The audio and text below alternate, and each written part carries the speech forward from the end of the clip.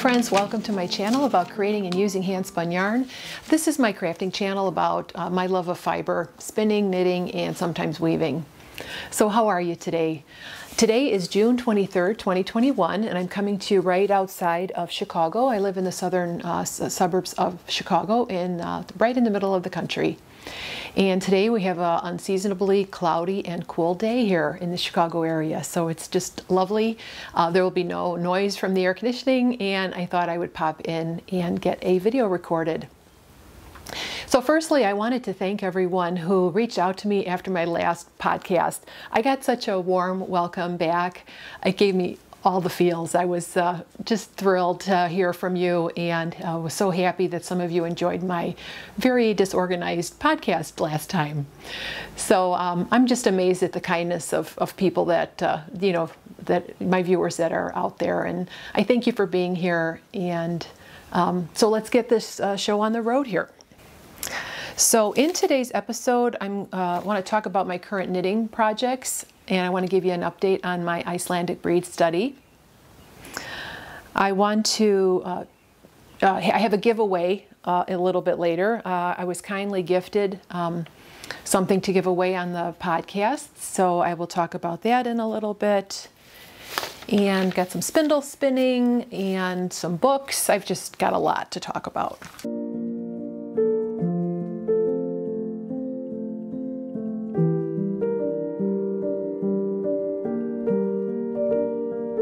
So the first thing I wanted to share with you today is my cotton shawl that I uh, shared last week. So this is uh, my progress so far. So uh, yeah, it kind of is. It's not quite that orange, um, but it is. It's it's pretty much that color. That's the reverse side, of course. Here's the correct side. So, so this is kind of, yeah. So I think it's going to be beautiful with a black or white uh, shirt. So this is the Tourmaline shawl by Jody Long, uh, made out of his Summer Delight uh, cashmere and it's 90% cotton and 10% cashmere. So here's the yarn. I'll, I'll insert some photos here um, that give a better representation of the color. It's not quite this, this orange, but I haven't quite figured out this camera and how to um, manage the white balance. So, but uh, this is the, the yarn is called Summer Delight and the colorway is tomato and it is a warm red certainly. So this is a shawl that you start on the bottom uh, you start it's bottom up. It's the first shawl I've ever made in that way. You cast on 231 stitches. And then there's a 40 row lace chart. And it's the first lace I've ever done that has uh, patterning on both sides of the of the fabric. So, you know, for a lot of lace projects, you will just purl across on the wrong side. This one had a combination of, of knits and purls and uh, it really, you couldn't do this project without a chart. Um, so I learned a lot. I actually learned how to uh, fix a center double decrease in a row below. Um, you know, thank goodness for Google because um, I used two double pointed needles and I was able to maneuver the stitches so uh, to fix them. So yeah. Uh, I'm kind of, this is my main project right now that I'm knitting. And what's really neat here is that now that the lace is done, all I have to do is do this garter pattern. Uh, what else did I want to say about this? I'm knitting it on one of my favorite needles. This is a uh, ChiaoGoo size 5, US 5, 3.75. And let's see what else I want to say. Oh, I love the way it is decreasing. So you decrease every row. So one way you do a slip one, knit one, pass, slip, stitch over, and then on the back, on the reverse, you purl two together. So you're decreasing a stitch every row. And what's happening is the pattern is still being maintained. So this is the side where I'm doing my decreases. So now it's just knit all across and then knit an occasional purl on the back. And so uh, I'm focusing on this as my current knitting project.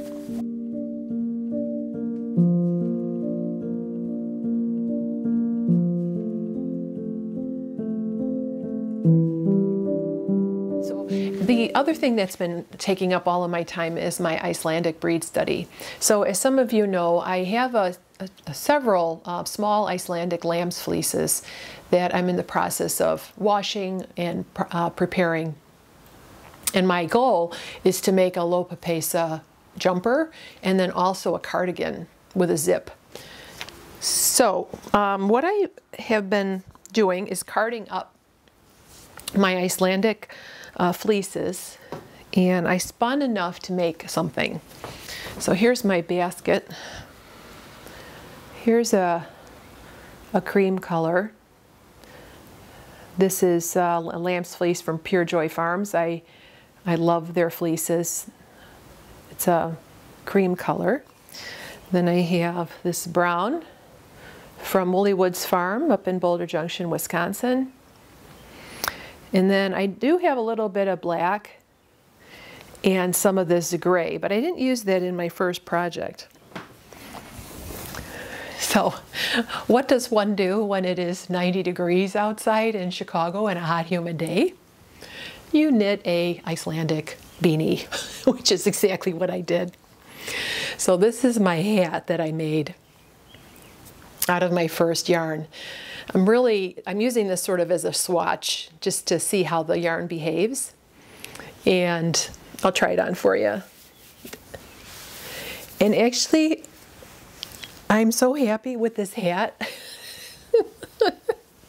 I'm not really a beanie person. I usually like more of a slouchy hat, but uh, for some reason, I just love this hat. Um, I uh, what did I do to make this? Oh, so I kind of did a hodgepodge of two patterns for this hat. I uh, cast on, I believe, 72 stitches. I'll grab my books here.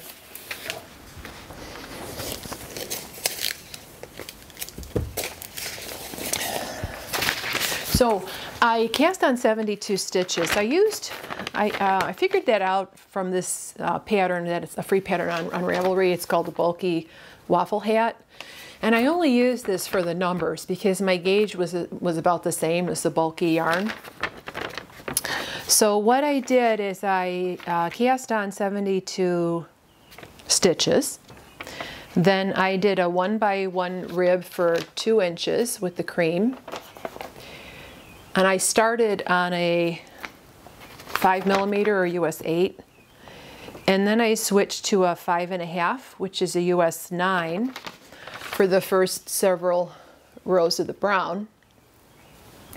And then for this little color work pattern, I used a size 10 or 6 millimeter needle.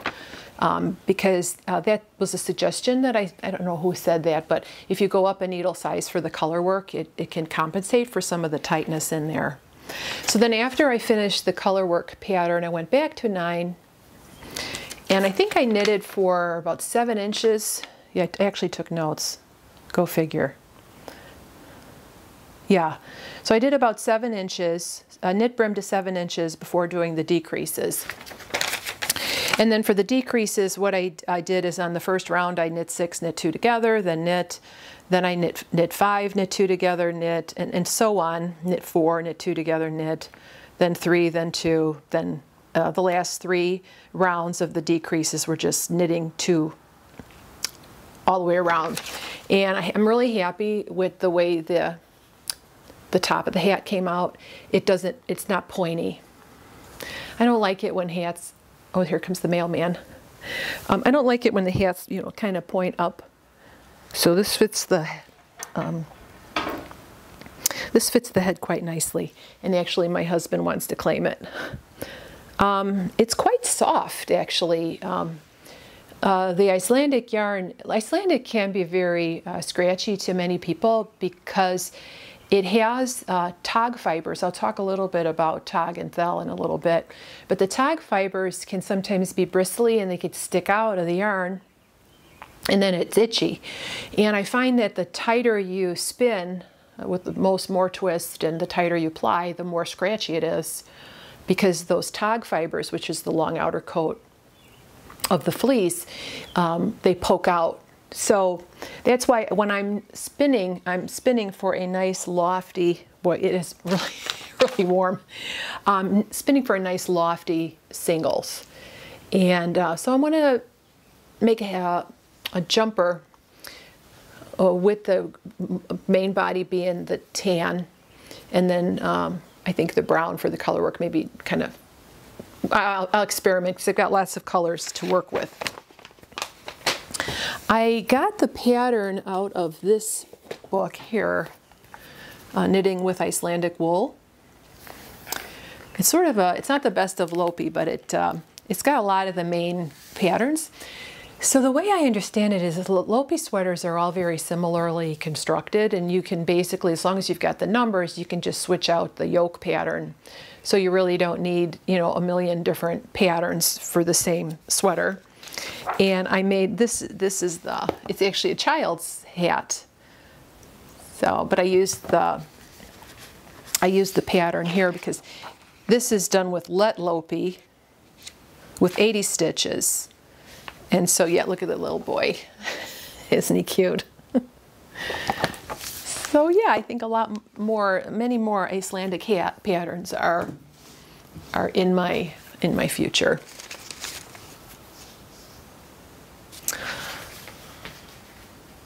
So uh, what I wanted to talk a little bit about is what I've learned about Icelandic fleeces. And my main resource that I'm using is this, this book by Elizabeth Abbott, uh, The Icelandic Fleece of Fiber for All Reasons. I have really taken a, you know, I've really read a lot of these uh, sections and I've learned a lot. Um, taken her suggestions and then also from my own experience. So if you want to get more information about Icelandics, you can go to, um, I went to the Icelandic Sheep Breeders of North America and downloaded an information sheet. And I will link this uh, below in the description. And it goes through the Icelandic uh, sheep breed uh, just briefly, I'll, I'll, summarize. So it's triple purpose, um, fiber, meat, and milk, a soft, lustrous, dual-coated fleece, a lustrous, soft pelts. I actually have a, an Icelandic pelt behind me that I was going to show you. Many colors and pattern combinations, medium-sized, early maturing, long-lived, excellent mothers and vigorous lambs, suitable for pasture lambing, and so forth. And the Icelandic sheep is one of the world's oldest and purest breeds. For over a thousand years, they have provided fiber, meat, and milk. They are medium sized. Mature ewes in good condition are 130 to 160 pounds, and rams are between 180 and 220 pounds. So both the ewes and the rams can have uh, can have horns or not. Uh, they're part of the northern European short-tailed family of sheep. They don't require their tails to be docked. Um, one of the things that I found really interesting about the Icelandics is they're not, they still have a lot of, of the feral qualities um, in them. They don't tend to flock very well and they tend to be very independent and they're not docile. I mean, I'm sure their personalities may vary. And the other neat thing about Icelandics is there's this um, phenomenon of a leader sheep. So there were certain there's certain sheeps of the of the flock, right, that sort of look out. They're sort of guard. They act sort of as a guard. And in Iceland, um, they would they would they could tell the weather. They could sense it. Have you ever heard the word bellwether? Well, that was a weathered uh, ram, so a castrated ram, and he had a bell. So, so that's the bellwether. Um, so they're really beautiful, um, beautiful colors. Um, let me show you this pelt here. And I, I picked this up at a home goods store, uh, you know, local to me. And um, I'm not really, like, I don't have fur coats or anything, but um, they had a bunch of these pelts. Most of them were artificial, but they had this one. And this is an Icelandic uh, lambs. Uh, must it says I think on the back. Lambskin uh, from Iceland. And I got it for just a steal. I think it was like, I don't know, $50 or something. Um, so you could see how lustrous and, and beautiful it is. I guess they don't have um, the number of follicles per square inch is less than say a merino or a fine wool. Um, but you know, a very open fleece.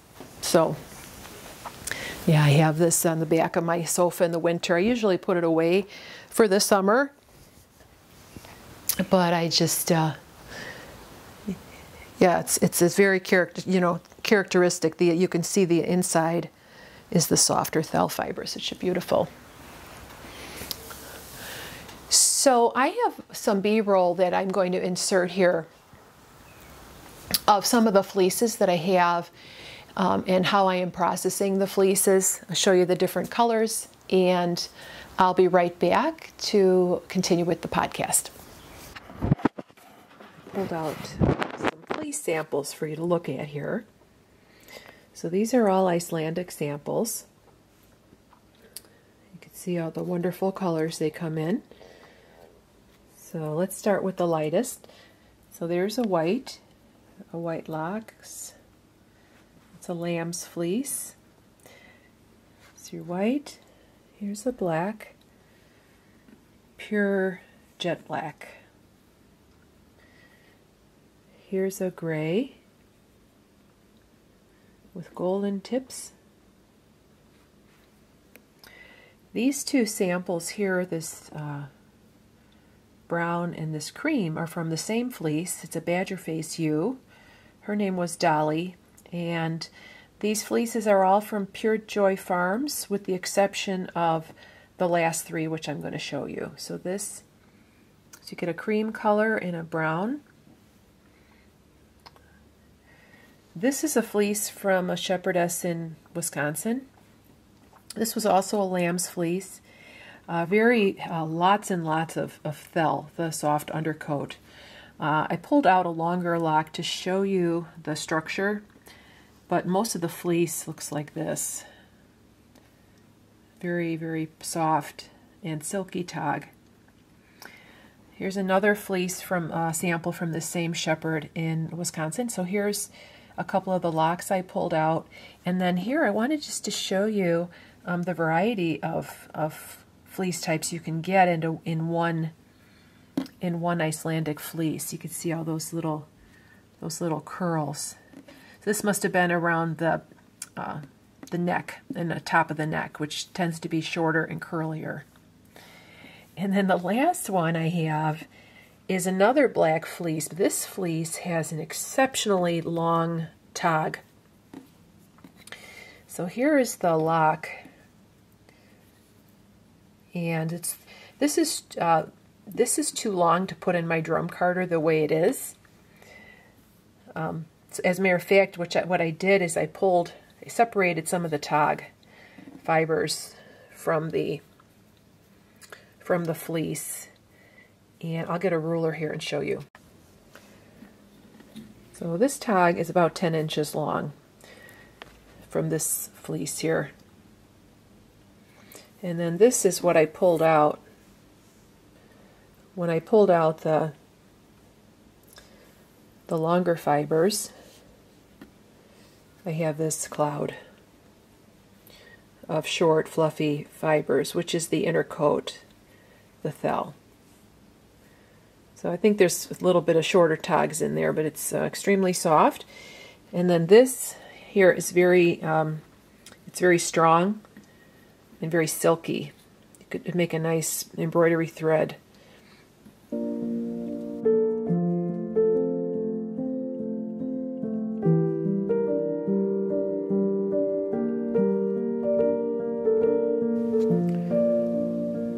This is a bag of Icelandic fleece.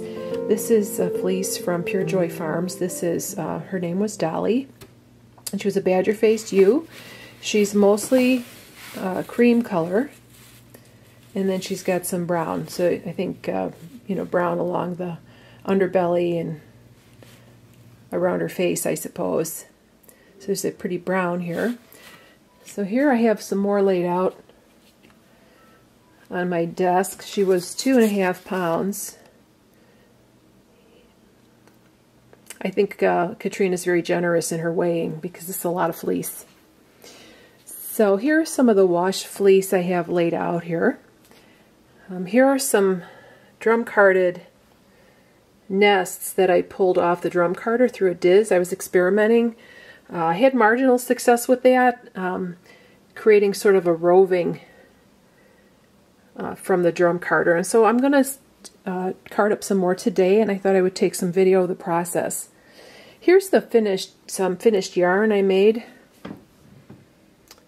from Dolly. So I made a, a, a bulky, heavy worsted to bulky singles yarn. And here's the project I made so far, incorporating her. So this is an Icelandic hat I made from Handspun. So this cream color in the color work section and the ribbing is this yarn from that ball. I'm really happy with how it turned out. I was sort of winging it and uh, it fits very nice and tightly like a nice beanie should. So this is what your lock, here's a lock of her fleece. So all this is very soft, fine lofty fiber at the base of the animal, and then this is the longer, curlier, silkier tog. This is a fall lamb's fleece. It was very clean, and this one is carding up really nicely because it it's the tog is not exceptionally long, and so I'm finding that I can pick it apart and create a pretty smooth bat. Uh, with another one of my fleeces, I'm finding that I have to pull out the longest tog fibers before I uh, run it through the drum carder because you know you can't run like eight, ten inches of uh, staple length through your drum carder.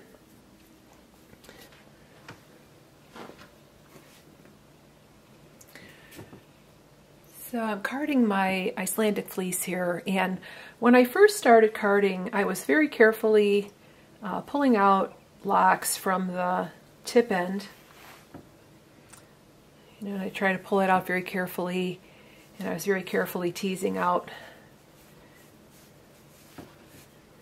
the thell. But now what I'm doing is I'm just grabbing a clump and I'm just teasing it apart with my hands like this. You know, much like a picker would do at a mill. just picking it apart, uh, checking for any veg matter. Like here's a little seed, pull that out. And so I got all this fluff here. And then in small quantities, uh, feeding it through the drum carder. And then take a little bit more clouds of fiber, just a small amount. Less is more when you're carding. I know I, I tend to want to load it in too much because I'm impatient and I want my bat to be done right away. But um, going slowly. Just hold it down. And I'll run this through three times get a pretty well blended bath.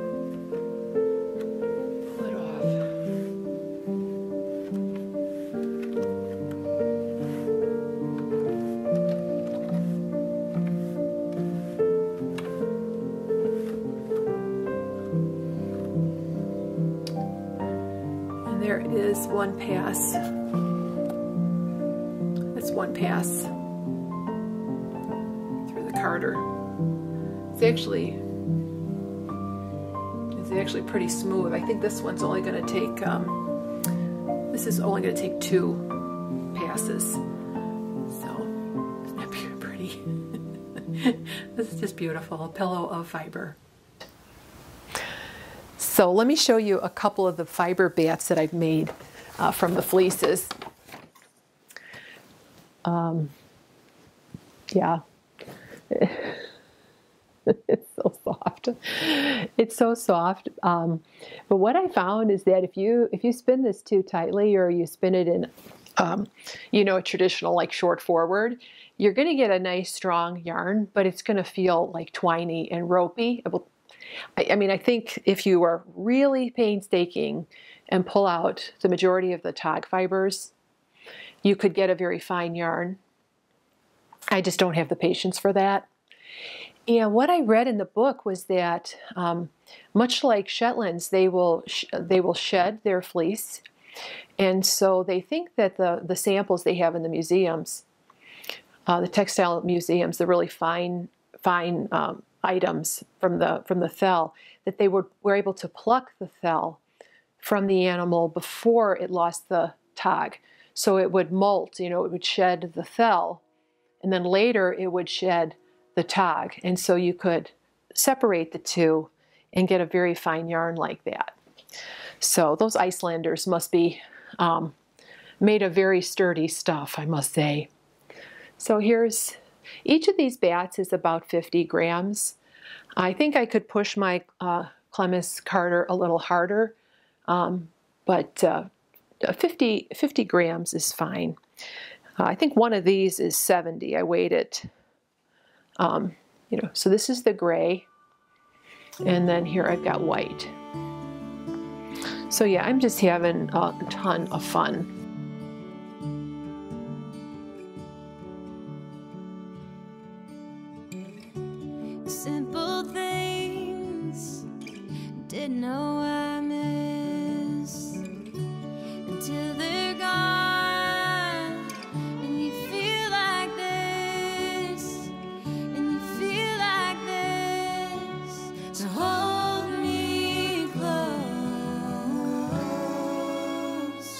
You bring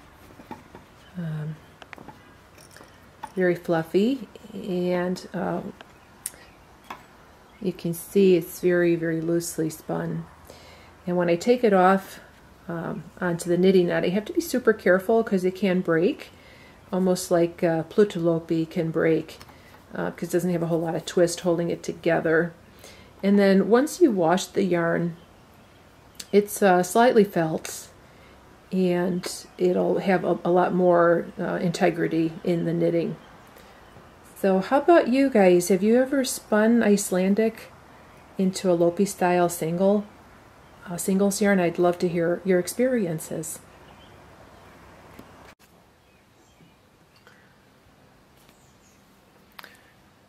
So I wanted to show you how um, how you can measure your yarn. So um, there's a couple of ways that you can um, measure your yarn. If you want to be technical, I guess. Uh, one of them is called wraps per inch. And wraps per inch is simply uh, the number of times that the singles or your finished yarn uh, wraps around an inch on a ruler or a device like this. So this is a uh, this is from Nancy's this is from Nancy's Knit Knacks um, wraps per inch a knit card uh, toolkit that I that I bought a while ago, and it's got markings on here. I think you can see. Uh, it's got three inches here. It's one, two, three inches. Yeah. And so what you do is you take a sample of your yarn. You can you don't you don't need the special tool. You can use a ruler as well. And but this is nice because it's got a little notch here that you can kind of secure your yarn. All right, now I have this attached, which is a slightly problematic, but I just don't want to separate the two. Okay, and then what you do is you uh, roll the yarn around the the uh, ruler or the device. You, you, um, you, they say you don't want to wrap it around with your hand because you might be adding or subtracting twist. So I guess the proper way to do it is to roll your device around your yarn. Let me pull this off here. Oops, see how strong, see how strong Icelandic is? it's pretty strong. All right, so I'm so slick. So, what you're to do is you're to roll it And they say to do it so it's sort of, I don't know, it's kind of tricky, I think. Um, I've got three wraps so far. And there's four. There's five. One, two, three, four, five, six. Keep going. And you can go one inch. Now, I guess you're supposed to leave, you're not supposed to pack it like super, super tight on there. You're supposed to sort of let them just be adjacent to one another. So I'm going to count how many wraps I have. One, two, three, four, five, six, seven. So I'm getting seven wraps per inch around the tool. And if you want, you can continue to roll and maybe get it kind of like gauge in knitting. You, you want to test it out over a larger area. You can actually keep rolling until you get to uh, the two inch mark. And again, just kind of let them sit next to each other. I find this to be very fiddly. But it's uh, information about your yarn, so um, also, if it's fluffy, you probably should leave a little bit of room in between. So, so now I'm going to count here. So I've got 1, 2, 3, 4, 5, 6, 7, 8, 9, 10, 11, 12, 13. And then, of course, you can, I can squeeze one more wrap on there to convince myself that it's 7 wraps per inch. so that's uh, one way. And so 7 wraps per inch is heavy worsted to bulky. And then six wraps and fewer is bulky. So I think Alafoss Lopi, the original, is um, measured to be seven wraps per inch on Ravelry. So the other way that you can measure your yarn, now I got to take this off of here. Is to use a spinner's control card. So this one is laser engraved, uh, 7 wraps per inch all the way to 60 wraps per inch. And then what you can do is you can take different samples of your yarn and lay it along lay it along the the markings and so uh, there's my seven wraps per inch. Sometimes I put it underneath so I could see it a little better. So there's my seven wraps per inch. But see, so it's really, sometimes it's a range. I mean, here's the very fluffy part, which is probably a little fewer than seven wraps per inch. And then here's the little bit thinner spots that looks to be about eight wraps per inch. So I think you're going to have, you know, especially with hand spun, you'll just have a, uh, you might have a little bit of variation. But in the knitting, it all tends to work out.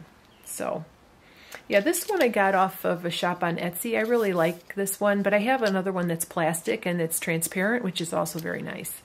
So how about you? Have you ever worked with Icelandic before? I, uh, my the yarn that I am spinning up is way softer than Lopi. I have some Lopi somewhere in my stash. I can't uh, located at the moment. But um, my hand spun is way, way softer. I think that's a couple of things. First of all, I'm hand processing and, you know, it's not, and also I'm using lamb's wool as opposed to adult fleeces. So that may be making a big difference in the softness factor.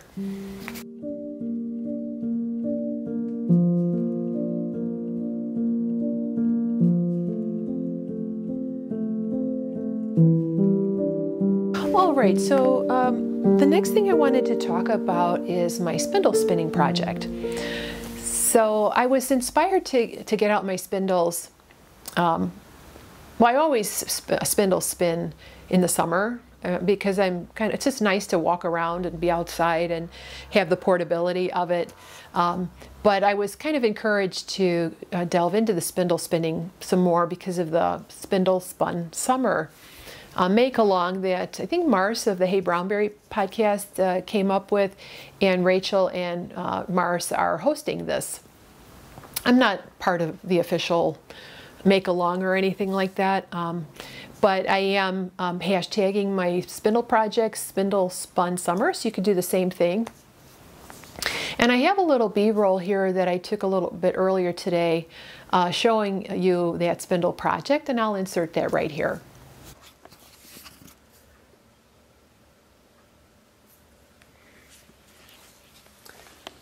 So I found this spindle project in a basket. It was all disorganized.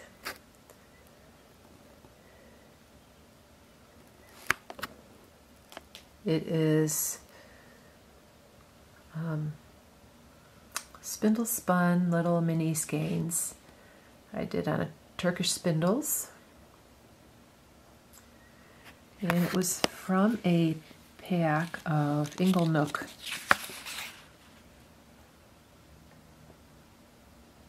uh, fiber some years ago. And it was just, isn't it cute?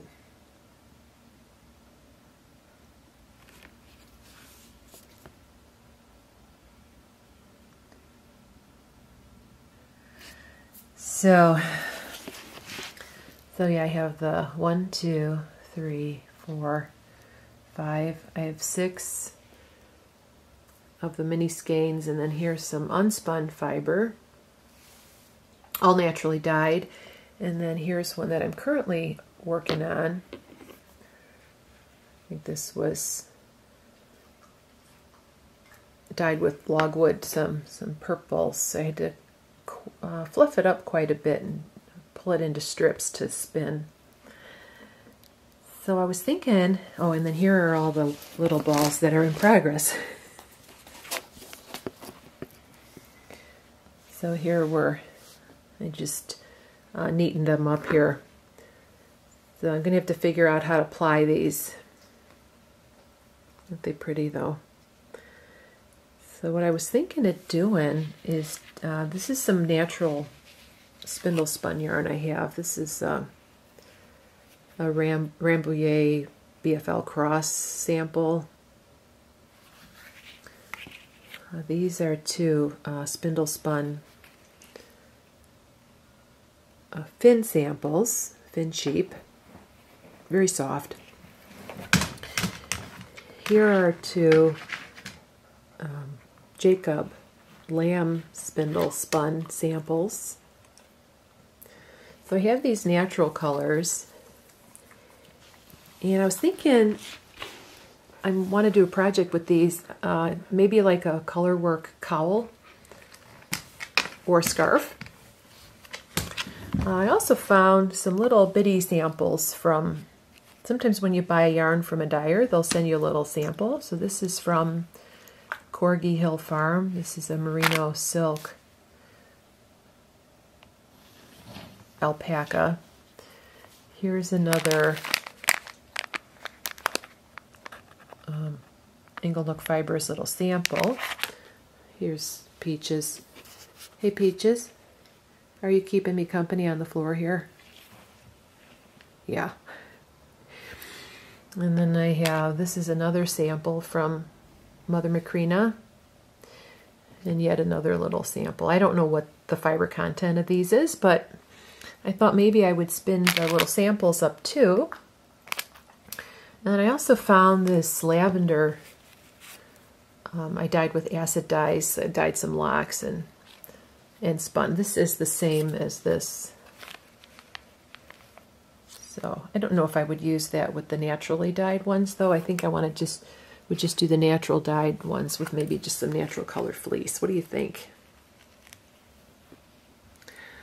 So, um, spindle spun summer. I do tend to do a lot more spindle spinning in the summer. So, uh, Mars and Rachel from Wool and Spinning are hosting a spindle spun summer make along. So, I thought I would pull this project out uh, and finish it up. I thought I would just share it with you here.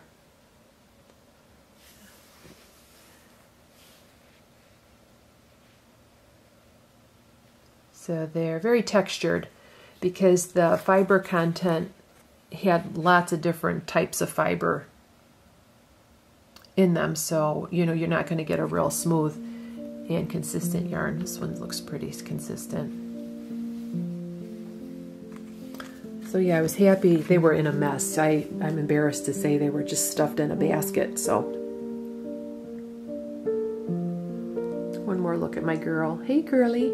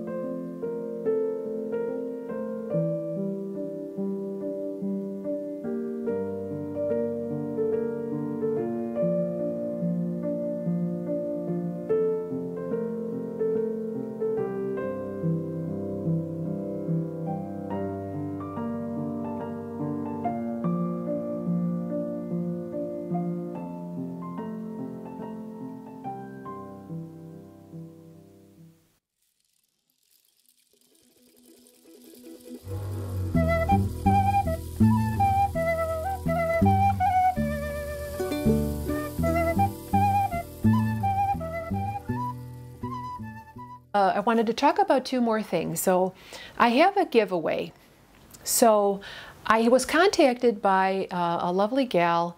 Uh, she's Peruvian. She's, she's, she lives in the States. And she reached out to me and asked me if I was interested in giving away uh, some of her yarn that she sells in her shop. So um, the lady's name is, is Haiti, and on Instagram she's Alpa Alpaca uh, Vinchos, V-I-N-C-H-O-S. I'll put uh, I'll put it right here below. And I'm just going to read you a little excerpt from her letter. And um, she also sent me some photographs and a little short video clip of some women spinning uh, alpaca in Peru. So I'll insert that here as well. But she wrote, I am from Peru, but I moved to the US in 01. Um, she's taking classes here and she's uh, staying in the country, but she wants to help the alpaca growers in her native country, Peru. As you know, in Peru, there exists large numbers of alpacas, the largest number of alpacas in the whole world, but they are much more than only alpacas. There are 100,000 families that are alpaca growers that live in extreme poverty. So she has decided to help and support alpaca growers, indigenous communities in Peru. And she lists some other locations as well. And she says the alpaca communities in Peru really need help. They do not get any pandemic health, any unemployment, no loans with low rates. It's sad. And so she, um, she has a shop, which I will link below, where she, uh, she buys their hand spun alpaca yarn and sells it in her shop. And she also imports other items, accessories to the US and then sells them. And then she uh, takes some of the, she uh, sends the, the, the funds back to the ladies there. So I wanted to show you what she uh, what she donated to the podcast, and then I also made a small purchase that I'm going to throw in with the giveaway. So this is uh, some hand spun alpaca. It, it, I didn't take it apart. It's very, very tightly uh, hanked. It's very soft. It's a creamy color uh, with little brown flecks. I believe it's a two ply. It's very, very soft. I think this would make a beautiful lace shawl. It would be beautiful in weaving. I'm not sure how many yards it is. Um, but it's just really, really lovely. If I, I get the yardage and the, the weight here, and I'll, I'll put it down below right here. So she sent this to us so that uh, we could we could give it away to one of you lovely viewers. So so that's up for a giveaway. And then I went in and had a little look at her shop. Oh, she here it is. It's lace weight. It's lace baby alpaca. It's 4.75 ounces, and she estimated it to be 200 yards. And then I also purchased this cute little embroidered pouch. Here, this is the top. It's just really cute. So I purchased this. And what I would like to do is I would like to put these two items together as a giveaway, sort of, I mean, we could call it a 5,000 subscriber giveaway. Um, if you like. Um, but all you have to do to win this is make a comment below. And then I will use YouTube's random name selector. And then in two weeks' time, when I come back on, I will um, announce the winner and I will get this off to you. So uh, she just sounds like she's doing really good work. And uh, we, we uh, I strongly encourage you to go check out her shop. And if there's something in there that looks, um, you know, looks attractive to you, you might make a purchase to support the Peruvian uh, growers of alpaca.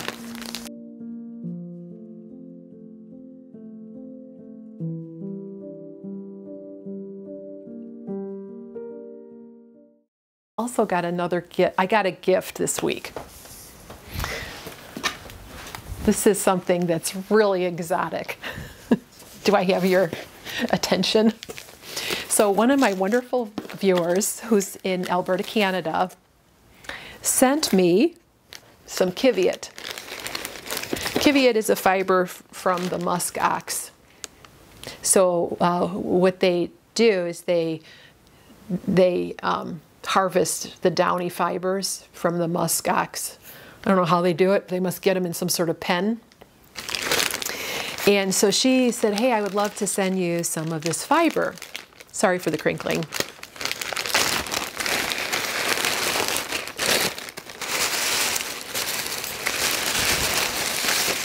So she sent me this. it's peeled right off the animal. So this is, it almost looks like it's a pelt, doesn't it? But this is just the, the skin of the animal.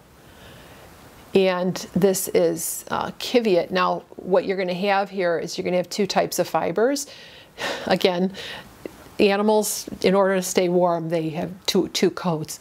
So you're going to have the real soft downy fibers and then the guard hairs. You can see, I can see one poking out right here. All right, so I'm not sure how I am going to process this. Um, maybe pluck it away and then uh, use my Louet super fine mini combs to try to um, you know, get the fiber out of here. But um, if any of you have ever worked with this before, I'd love your suggestions. But what you can do is you could just pull it off. It's very short and downy.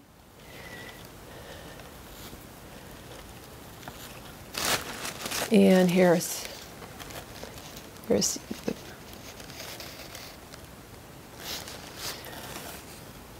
And I think what I'm going to do is I am going to spin uh, support spindle this. Because what I read about Qiviut is that if you spin it in extremely fine yarn and make a very gossamer cowl, it will keep you incredibly warm. So thank you uh, for sending this to me. Um,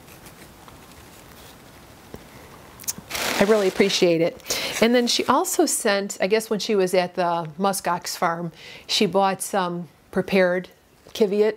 And so she blended it into this uh, bat. It's a super fine, um, super fine merino uh, blended with the Qiviut, combed Qiviut that she had purchased at the, at the shop. So I'm going to start uh, spinning this. I think, again, I think I'm going to use my support spindles for this. But I'm really excited about trying this precious fiber uh, it's very, very expensive.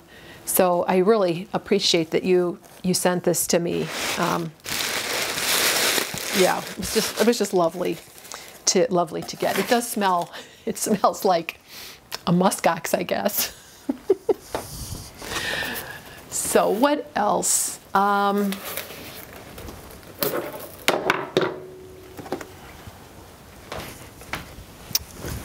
gonna have all kinds of fiber on me. So what else have I been up to? Let me just check my check my notes here. Um, yeah, so I've just been having a lot of fun uh, with uh, with prepping fiber and washing fleeces, and you know it is it is work. Um, it's not, but it's it's fun. It's fun work. So I wanted to show you uh, this, this bat that I made. So I have this bag of, I call it combing waste, but it, what it is is it's all fiber that's re reasonably clean, but maybe came off the combs during a combing process or it you know got caught on the licker-in and wasn't included in a bat. So I'm just kind of like throwing it into this bag and just kind of saving it for some, I don't know, maybe I'll start needle felting or something. So what I did is I pulled out some of the fiber from my combing waste bag and I made this really funky bat. It's, it's super textured and neppy. Uh, it looks kind of like, uh, looks like uh, cotton candy. And I'm spinning it here into this really cute yarn. I'm just, I'm just having fun. And this is a, a spindle from IST Ian Tate from the Isle of Wight who makes fantastic Turkish spindles if you can get a hold of them. Spinning has just taken off and I mean, it's hard to get a hold of some things and fiber tools and wheels and stuff are getting really kind of pricey. Um, but yeah, so that's that's a spindle pro project I'm working on, and it's uh, it's been a lot of fun. I think I think that's about it for today. Um, I did want to close by uh, giving you a couple of podcast suggestions. I'm always on the lookout for fiber podcasts that are, um, you know, engaging and fun to watch while I'm knitting or spinning. And I found a few of them that I thought I would share with you today. And please, if you know of any others that I didn't mention, if you could uh, put them in the comments below, uh, we would really appreciate it because a lot of us spinners really get inspired by watching other people, um, you know, work with fiber. So I want to uh, mention a few of them that I, I've been watching. So uh, one of them is called My Fiber Journey, and this is my friend Sherry. I've known for now many years now through Instagram, though we've never met in person. She has a lovely podcast where she shares her um, her fiber work. She's an art yarn spinner. She's oh, she does amazing rug hooking, like amazing work. Her name is Sherry, and it's My Fiber Journey. Uh, the other one, a uh, couple more, Being Youthful. Um, Fiber Farm and Mill. Uh, her name is Kim Beegler, I think. She's in Oregon, and she runs a fiber mill. And she really talks a lot about wool. And she, her, one of the things she always says in her podcast is wool is not generic. And she'll often show various locks of different kinds of um, kinds of fleeces. And she talks about knowing your wool, and she talks about sustainability and so on. Uh, her pot, she's just lovely. I, I've really been enjoying her podcast. Another one is Tamsin Judy. She's also a Canadian. Uh, Tamsin has a channel called BF Fiber Arts Creations, and she's a hoot. I mean, she is so fun. Um, she she gets so excited. Um, she shares. She pops in with short videos of her spinning or box opening. Uh, she did a whole a tutorial on lock spinning, tail spinning, which is uh, amazing. She's now spinning um, flax and she has some of her episodes she'll be she'll spin and then she'll read a story to you while she's spinning. She's just a lot of fun. So that's again, that's Tamsin Judy, uh, BF Fiber Arts Creations. I think she has a shop too where she sells hand dyed yarn and fiber, but I'm not sure. Um, another one is Liz from Pyramid Knits podcast. She's a sewist, uh, knitter, spinner, and natural dyer. I believe she is in New Mexico. And she's also very, very genuine and funny. And uh, she's been uh, just spinning, I think she picked up spinning in the last year. And she really makes some amazing things. And she also has an online shop. And then finally, uh, Kim at Fairly Fiber Fun. So Kim is has her own business where she sells fleeces and fiber and her channel's really lovely. She does a lot of spinning, uh, carding, uh, preparing wool, and uh, she's really awesome too. So if you can think of any other podcasts um, that you think uh, our viewers might be interested in, in watching or checking out, or if I didn't mention you today, um, you know, please let me know if you have a channel and I'll check you out. And um, you know, we're always we're always wanting to support each other um, you know, in our in our video casting uh, forays. It's not not the easiest uh, thing to do in the world is to get in front of a camera and just you know talk to your talk to yourself, but we know I'm talking to you. So I think that's it for today. Um, I hope you're well. I hope you're having a good summer. And I hope you're having some time to do lots of fibery uh, crafty things.